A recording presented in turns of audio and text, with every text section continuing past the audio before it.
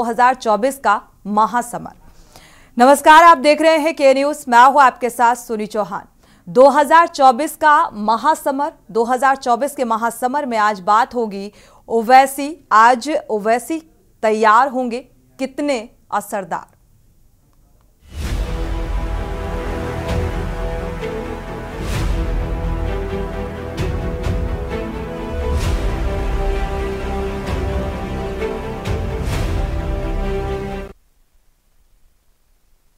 लोकसभा चुनाव की तारीखों का ऐलान हो चुका है। पूरा चुनाव सात फ़ेज़ में होगा और पहले चरण की वोटिंग 19 अप्रैल को होगी। इलेक्शन की प्रक्रिया तिरालीस दिन तक चलेगी और 4 जून को मतगणना के साथ ही नई सरकार का ऐलान हो जाएगा। सभी राजनीतिक पार्टियाँ अपने अपने उम्मीदवारों की घोषणा कर चुकी हैं। और एक तरफ़ नरेंद्र मोदी के नेतृत्व में एनडीए 400 प्लस का टारगेट लेकर चल रही है तो दूसरी ओर विपक्षी पार्टियाँ, इंडिया गठबंधन भारतीय जनता पार्टी के विजय रथ को रोकने की तैयारी कर रही हैं। तो वहीं ऑल इंडिया मजलिस इतिहादुल मुस्लिमीन, प्रमुख असुद्दीन ओवैसी भी यूपी में ताल ठोक रहे हैं। सूत्रों की माने तो ओवैसी की एआईएमआईएम पश्चिमी यूपी की 25 सीटों पर प्रत्याशी उतारने की तैयारी में है। ऐसे में ओवैसी की चुनावी बिसात पर किसके मोहरे पिटेंगे और किसके मोहरे पीछे हटेंगे, ये बड़ा सवाल है। पहले आपको रिपोर्ट दिखाते हैं, इसके बाद चर्चा करते लोकसभा चुनाव को लेकर जहाँ सभी पार्टियों ने पूरी ताकत झोंक रखी है, वहीं ऑल इंडिया मजलिस इतिहादुल मुसलमीन प्रमुख असदुद्दीन अवैसी की खामोशी पश्चिमी यूपी में बड़े सियासी तूफ़ान की आहट करा रही है। ओवैसी के 11 सिपह सालार पश्चिमी यूपी के किलेबंदी को तैयार बैठे हैं, बस उन्हें अपने नेता के आदेश का इंतज़ार है। ओवैसी का प्लान जैसे ही लॉन्च होगा, वैसे ही पश्चिमी यूपी का सियासी तापमान और बढ़ जाएगा। पश्चिमी यूपी की 11 सीटों पर एआईएमआईएम ने चुनाव लड़ने की तैयारी कर ली है जिन सीटों पर प्रत्याशी उतारने हैं, उनमें मेरठ, मुजफ्फरनगर कैराना सहारनपुर, बिजनौर, नगीना, अमरोहा, संभल, मुरादाबाद, रामपुर के साथ बरेली भी शामिल है। इन तमाम सीटों की ग्राउंड रिपोर्टिंग भी राष्ट्रीय नेतृत्व को सौंप दी गई है, जिनमें पूरा डाटा और 2019 के समीकरण, उसके पहले के समीकरण को भी रिपोर्ट में शामिल किया गया है। पश्चिमी यूपी की ज़्यादातर सीटों पर सपा और बसपा ने अपने प्रत्याशी घोषित कर दिए हैं। कई सीटों पर टिकट को लेकर बगावती तेवर भी दिख रहे हैं। पाला बदलने का सिलसिला भी जारी है और इन्हीं तमाम हलचल पर ओवैसी के नेता पैनी नज़र गड़ाए हुए हैं। नाराज़ नेताओं के मन की बात भी टटोली जा रही है। कुछ नाराज़ नेताओं से ओवैसी के सिपह सालार भी मिल चुके हैं। बात कुछ आगे भी बढ़ती हुई नज़र आ रही है, लेकिन फ़िलहाल सब कुछ फाइनल होने में अभी सही तारीख और सही वक्त का इंतज़ार है। भारतीय जनता पार्टी को तीसरी बार केंद्र में सरकार न बनाने दिया जाए, मगर अखिलेश यादव चाहते हैं कि भारतीय जनता पार्टी तीसरी बार केंद्र में सरकार बनाए और तीसरे बार प्रधानमंत्री नरेंद्र मोदी जी, तीसरी बार शपथ ले प्रधानमंत्री की। तो हम लोग मजबूर हैं और हमने बहुत जद्दोजहद की, बहुत प्रयास किए उनसे, वार्ता करनी चाहिए लाभ मतलब वो किसी चीज़ पे तैयार नहीं हो रहे हैं। तो हमें जहाँ तक लगता है, मजबूरी में आकर के हम ये डिसीज़न लेना पड़ रहा है कि अब हम भी इन ताला बहुत जल्द अपने प्रत्याशियों के और अपने सीटों के नाम की घोषणा करेंगे 20 से 25 सीटों पर लड़ेंगे। मेरठ में पिछले साल हुए महापौर चुनाव में भी ए आई की धमक देखने को मिली। ए आई की पतंग आसमान में इतनी ऊंचाई पे उड़ेगी, ये किसी ने नहीं सोचा था। बीजेपी के हरिकांत अहलूवालिया मेयर का चुनाव जीते थे, लेकिन ए के बैनर तले चुनाव लड़े मोहम्मद अनस दूसरे नंबर पर रहे। सपा की साइकिल लेकर मैदान में उतरे एमएलए अतुल प्रधान की पत्नी, सीमा प्रधान तीसरे नंबर पर रही। और हाथी की सवारी के सहारे उतरे हसमत मलिक चौथे नंबर पर रहे। इतना ही नहीं, मेरठ नगर निगम में 11 पार्षद ए आई के जीते, जबकि 9 सीटों पर पार्षद प्रत्याशी दूसरे नंबर पर रहे थे। इस जीत को सबने चौंका दिया और असदुद्दीन अवैसी के लिए नए रास्ते भी खोल दिए। लोकसभा चुनाव में अब ओवैसी, बीजेपी और विपक्ष के सामने नई चुनौती पेश करने की तैयारी में है। ओवैसी ने यूपी में सात सीटों पर चुनाव लड़ने का खुला ऐलान किया है, लेकिन सूत्रों की माने तो ओवैसी की पार्टी अब पश्चिमी यूपी में 25 सीटों पर अपनी उम्मीदवार उतारने की तैयारी में है। ऐसे में बीजेपी की बी टीम कही जाने वाली एआईएमआईएम विपक्ष को कितना नुकसान पहुंचाएगी और बीजेपी के वोट बैंक में कितनी सेंधमारी करेगी, ये बड़ा सवाल है। Vineet Sharma, special desk, K news India. तो सेंधमारी की कोशिश या फूट डालने की कोशिश इसे कहा जाए। जी हाँ, हैदराबाद के भाईजान कहे जाने वाले असुद्दीन ओवैसी ने लोकसभा चुनाव में यूपी की सात सीटों पर चुनाव लड़ने का ऐलान किया है और इससे चुनौती बीजेपी और समाजवादी पार्टी की बढ़ती हुई नज़र आ रही है। क्योंकि उन सीटों पर चुनाव लड़ने का ऐलान क्योंकि प्रस्ताव पहले भी भेजा गया था यानी कि इंडिया गठबंधन में शामिल होने को लेकर। पहले आ, कहा जा रहा था कि बीस सीटों को लेकर एक प्रस्ताव ओवैसी की तरफ़ से भेजा गया जिसको इनकार कर दिया समाजवादी पार्टी ने। और क्या ये उसी नाराज़गी का नतीजा है कि अब इस तरीके से ओवैसी यूपी की सात सीटों पर अपने उम्मीदवार उतारने का मन बना चुके हैं? कितनी चुनौती, क्योंकि लोकसभा चुनाव की राह एक तरफ़ इंडिया गठबंधन, अब समाजवादी पार्टी के लिए भी एक बड़ी चुनौती बनती हुई नज़र आ रही है, क्योंकि जिन सीटों का ज़िक्र किया जा रहा है। हमारे साथ खास मेहमान जुड़ चुके हैं, आपका परिचय करा देते हैं, विस्तार से चर्चा करते हैं। मनदीप सिंह है, बीजेपी प्रवक्ता, स्वागत है आपका इस चर्चा में शामिल होने के लिए। कृष्णा पंडित है, एज ए वरिष्ठ पत्रकार, आपका भी बहुत बहुत स्वागत है इस चर्चा में शामिल होने के लिए। मोहम्मद साजिद है सपा से, समाजवादी पार्टी से आपका भी बहुत बहुत स्वागत। डॉक्टर चारू मेहरोत्रा हैं, वरिष्ठ कांग्रेस प्रवक्ता, आपका भी बहुत बहुत स्वागत इस चर्चा में शामिल होने के लिए। शुरुआत समाजवादी पार्टी से कर लेते हैं। मोहम्मद से। साजिद जी, अब कितनी, क्योंकि चुनौती और बढ़ गई है, जिस तरीके से इसे सेंधमारी की कोशिश की जाए, समाजवादी पार्टी के वोट बैंक को लेकर, या फिर फूट डालने की कोशिश की जा रही है ओवैसी की तरफ़ से। कौन आ रहा है साजिद जी आपको आवाज़ मिल पा रही है? जी। जी जी लोकसभा चुनाव से पहले विधानसभा चुनाव 2022 में भी ए I M A I am ने लगभग यूपी में 100 कैंडिडेट उतारे थे। बिल्कुल।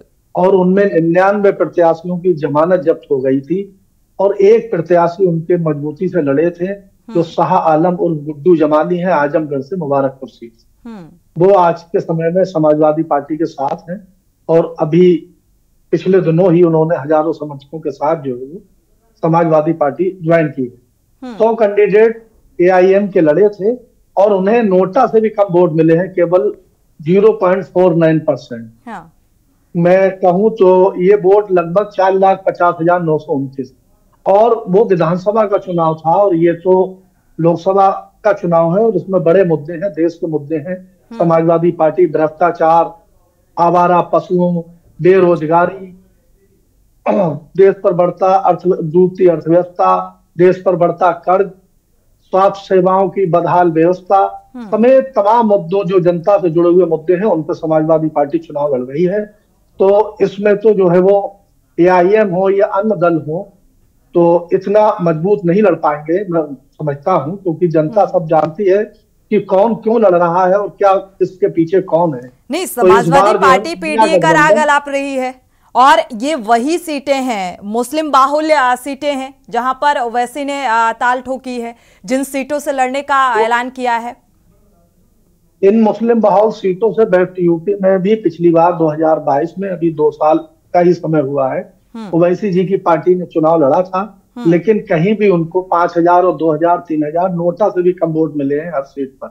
तो अब जनता जागरूक हो चुकी है हम्म। और ये चुनाव जो है वो संविधान बचाने का है आरक्षण बचाने का चुनाव है क्योंकि जनता जानती है कि संविधान को भाजपा खत्म करना चाहती है। उनके सांसद लगातार इस बात को कहते हैं। अभी भी पिछले दिनों कर्नाटक के एक सांसद ने कहा था कि 400 से अधिक सीटें आएगी तभी हम संविधान खत्म कर पाएँगे। अनंत कुमार हेगड़े एक भाजपा के सांसद है।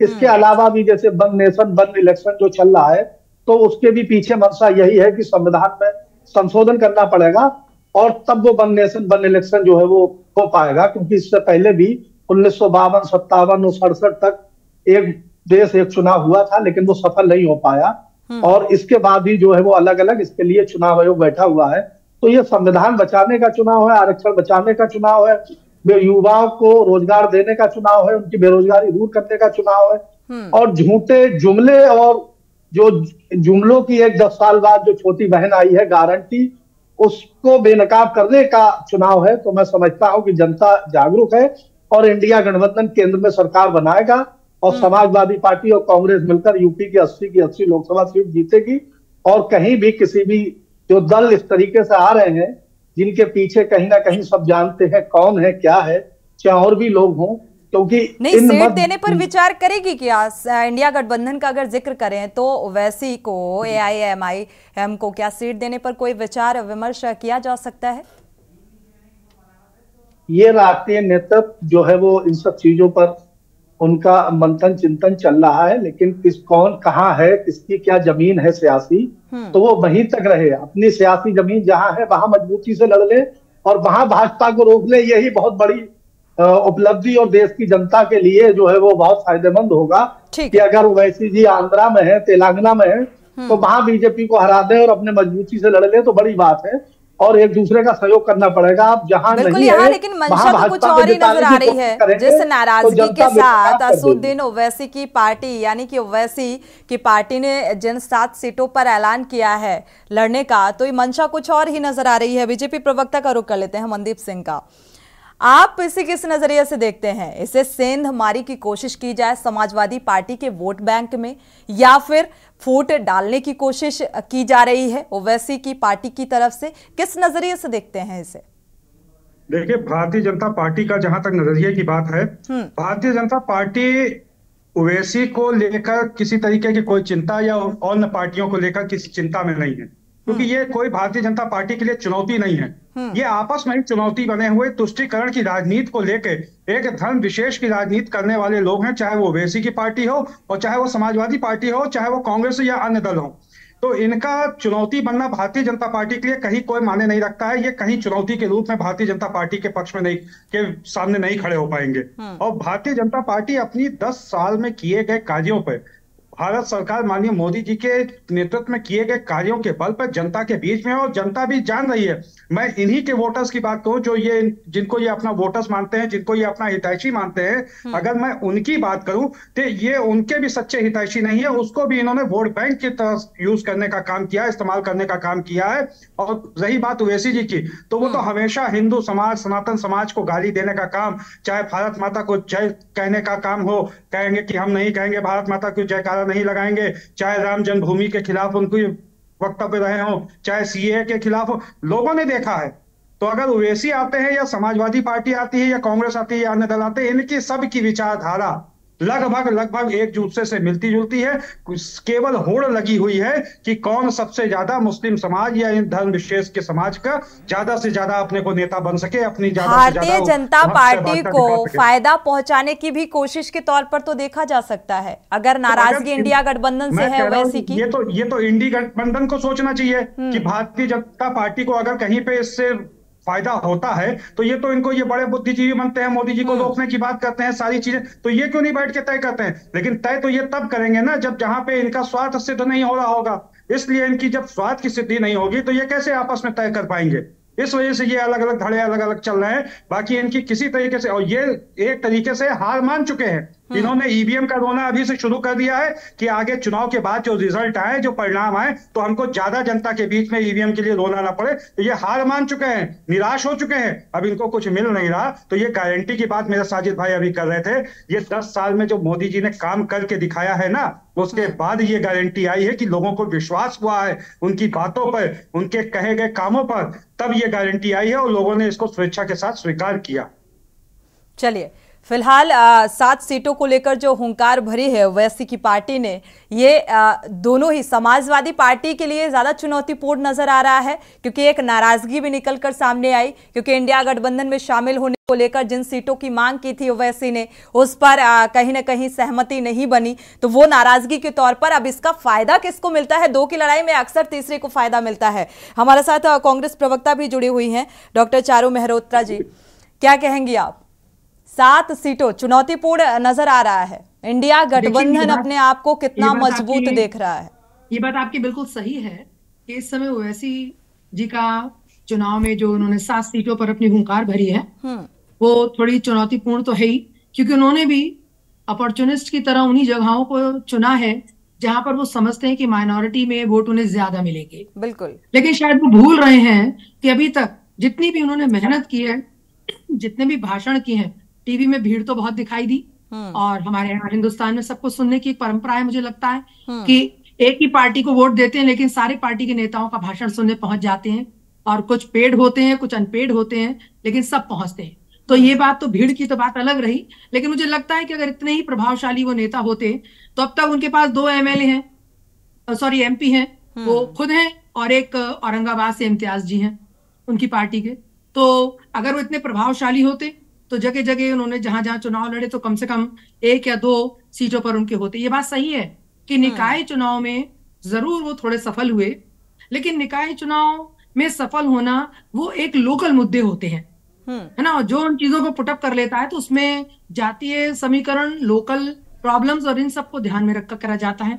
अब रहा इंडिया गठबंधन की बात। तो इंडिया गठबंधन में हम माइनॉरिटी और अपने हिंदू और दूसरे जो हमारे पिछड़े वर्ग के लोग हैं उनको साधने की कोशिश की जा रही है। तो मुझे तो ऐसा लगता है कि मोडस ऑपरेंडी इनकी वही है कि कहें ये कुछ भी अ, लेकिन इनडायरेक्टली ये बीजेपी को ही फ़ायदा पहुँचाने के लिए यहाँ इन्हें भेजा गया है और ये अपने भाषण से सभी चीज़ों से ये उनको फ़ायदा पहुंचाना चाहते हैं। अगर इतने महत्वाकांक्षी ना होते तो ये इंडिया गठबंधन में कॉम्प्रोमाइज करते और अपनी स्थिति का आक, आकलन खुद करते एस्टिमेट करते और तब वो अपनी सीटों के लिए किसी तरह से आपका कहीं पर भी कोई अस्तित्व नहीं है और आप सीटों के लिए लड़ रहे हैं अड़ रहे हैं तो ये बात बताई जा रही है कि मुझे ऐसा लगता है कि इनकी मोडस ऑपरेटी वैसे ही है। और बिल्कुल दल बदल का सिलसिला भी शुरू हो नहीं मैडम ये बात ज़रूर चल रहा है। कि 400 सीट और इसीलिए मैंने ये सवाल किया था समाजवादी प्रवक्ता से कि क्या भाई अब विचार किया जा सकता है समाजवादी पार्टी की तरफ़ से सीट को लेकर? मुझसे पूछ रही कि उनसे जी जी। चारू मेहरोत्रा जी अपनी बात को पूरा कर लें। जी। हम्म। हाँ मैं ये कहना चाह रही थी कि अ, इस समय देखिए कॉम्प्रोमाइज तो सभी से इंडिया जब गठबंधन है तो हम सभी को इनवाइट कर रहे हैं। हमने तो रालोद को भी करा था और जदयू को भी करा था सुबह सपा को भी करा था सभी लोगों को इनवाइट करा था और गठबंधन का मतलब ही यही होता है कि सब लोग अपने वेस्टेड इंटरेस्ट को कम करके एक बैलेंस और कॉम्प्रोमाइज में काम करें। और जहाँ तक अभी ये बात बहुत उड़ रही है कि 400 सीट्स पर ईवीएम की बात कही जा रही है और अपोजिशन पार्टीज़ जो है वो अभी से रोना रो रही है ईवीएम का। तो मैं ये बताऊँ इस, इसका दूसरा पक्ष भी देखा जा सकता है कि अभी से दावेदारी कर दी गई कि लोगों को मेंटली और साइकोलॉजिकली प्रिपेयर कर दिया गया कि हम 400 सीटें तो ला ही रहे हैं अब उसे हम कैसे भी लाएँ? ईवीएम की मदद से लाएँ या कैसे भी लाएँ? तो लोग ये नहीं कहेंगे हम तो पहले ही कह रहे थे कि 400 आ रही हैं तो अब आ गई हमारी तो हम इसमें ईवीएम का कोई वो नहीं है। हम्म तो इस बात का तो दावेदारी ना की जाए लेकिन वेव पहचानी जाए और इस चीज़ को देखा जाए कि जनता का रुख कैसा है और ये जो गठबंधन की बात है उसमें ज़रूर हमें थोड़ी और मेहनत करनी पड़ेगी क्योंकि इस तरीके के वैसी जैसे और लोग भी आ सकते हैं पार्टी में जो पार्टी को कमज़ोर करने के लिए इस गठबंधन को कमज़ोर करने के लिए निरंतर प्रयासरत हैं। चलिए, एक एक तरफ़ वैसे भी कवायद राहुल गांधी और अखिलेश यादव की इन चीज़ों को लेकर है कि छोटे छोटे दलों को एक करने की कवायद एक तरफ़ और दूसरी तरफ़ एक ओवैसी ने ये दाव जो ताल ठोक दी है सात सीटों पर लड़ने की और वही हॉट सीटें जो समाजवादी पार्टी के लिए बेहद मायने रखती हैं, बेहद महत्वपूर्ण हैं। तो इसको लेकर अगर आप लोग नहीं डर रहे हैं, आप लोगों की तैयारी अच्छी है तो अच्छी बात है। एक बार कृष्णा पंडित जी का भी रुख कर लेते हैं। वरिष्ठ पत्रकार जुड़े हुए हैं। कृष्णा पंडित जी ओवैसी की सात सीटों पर चुनाव लड़ने को लेकर किसको फ़ायदा मिलेगा इसका और किसको नुकसान? किस नज़रिए से देख पा रहे हैं इसे? निश्चित तौर पर यह बात साफ़ है कि सियासत में किसी को छोटा आंकना ये भूल साबित होता है। हम्म। और जिस तरीके की समीकरण पश्चिमी यूपी में है मैं एक बात स्पष्ट कर दूँ कि पूरे यूपी की सियासत को समझने के लिए उत्तर प्रदेश को चार वर्गों में बांटा जाएगा। हम्म। तो इसके इसको हम अच्छे से समझ सकते हैं। पश्चिमी यूपी पूर्वांचल अवध और बुंदेलखंड। हम्म। पश्चिमी यूपी आप जानती हैं कि पश्चिमी यूपी जहाँ पूरे प्रदेश में 21 परसेंट मुसलमान हैं वहीं पश्चिमी यूपी में 32 परसेंट मुसलमानों की संख्या हो जाती है। बत्तीस परसेंट सबसे ज़्यादा। हम्म। और पश्चिमी यूपी की जो राजनीति है वो दलित मुसलमान और जाट इन्हीं के इर्द गिर्द घूमती है। हम्म। गौर कीजिएगा दलित मुसलमान और जाट इन्हीं के इर्द गिर्द पूरी राजनीति घूमती है। और इसमें यदि सेंधमारी की जा रही है तो निश्चित तौर पर नुकसान जो होगा वो विपक्षी गठबंधन का होने वाला है। क्योंकि भाजपा को पता है कि हमारा यहाँ से कुछ बढ़ने बिगड़ने वाला नहीं है उसको निगलेक्ट करके चलती है। भाजपा अपने प्रत्याशी को वो जानती है कि ये जो आज का तारम तर चल रहा है उसमें वो परसेंटेज मान चलती है हमको मिलने वाला वो नहीं है। हम्म एक बात मैं आपको यहाँ जोड़ना चाहूँगा कि पश्चिमी यूपी में 27 लोकसभा सीट है जिसमें पिछली बार उन्नीस पे बीजेपी का जो है फतवा जारी विजय हुआ था और चार पे सपा और चार पे बीएसपी आई थी। और आरएलडी जो प्रमुख भूमिका में थी लेकिन उसकी कोई भी खाता खुल नहीं पाया था। आरएलडी इस समय बहुत महत्वपूर्ण भूमिका में। क्योंकि तो चौधरी चरण सिंह को भारत रत्न भी मिला है आप देख रहे जानती हो बिल्कुल। और एक चीज़ और आपको बताना चाहूँगा कि जयंत चौधरी इस समय बीजेपी में शामिल हो गए।